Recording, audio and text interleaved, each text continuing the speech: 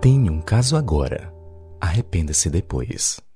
Essa foi a frase colocada ao lado da imagem de Cristo Redentor em uma polêmica propaganda da empresa Oritel em um outdoor no Rio de Janeiro. A empresa americana é responsável por um site que promove encontros amorosos, inclusive entre pessoas que são casadas. Além da propaganda ser extremamente polêmica e apelar para o adultério, existe um outro ponto que me chamou a atenção nela. A empresa explorou a falsa crença de que o arrependimento basta para solucionar problemas.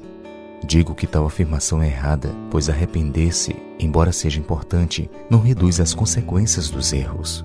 É como alguém que pula de um prédio e no meio do trajeto se arrepende do que fez. Seguramente poderá até alcançar a paz de espírito ao encontrar o perdão. Porém, sofrerá fisicamente o efeito da loucura que cometeu.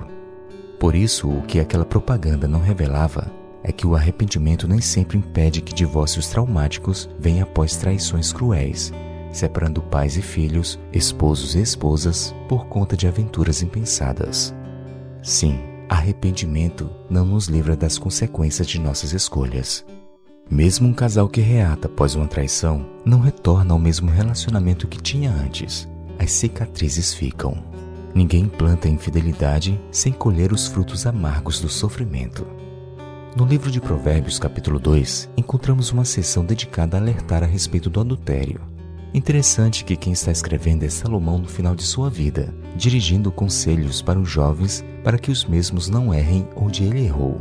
A partir do verso 16, ele alerta: Para te livrar da mulher adúltera, da estrangeira que lisonjeia com palavras, a qual deixa o amigo da sua mocidade e se esquece da aliança do seu Deus, porque a sua casa se inclina para a morte e as suas veredas para o reino das sombras da morte. Todos os que se dirigem a essa mulher não voltarão e não atinarão com as veredas da vida. Perceba que diversas vezes, ao longo do capítulo, Salomão afirma que o adultério conduz à morte, tirando a vida do adúltero. Além disso, o texto deixa claro que a infidelidade não é apenas a quebra de voto para com o cônjuge, mas para com Deus. Afinal, quando nos casamos, assumimos um compromisso público diante dos familiares e diante de Deus que seremos fiéis à pessoa amada. E assim, quando somos infiéis, não decepcionamos apenas o cônjuge, traímos também amigos, familiares e filhos. E acima de tudo, decepcionamos a Deus, o qual é sempre fiel e espera que também sejamos.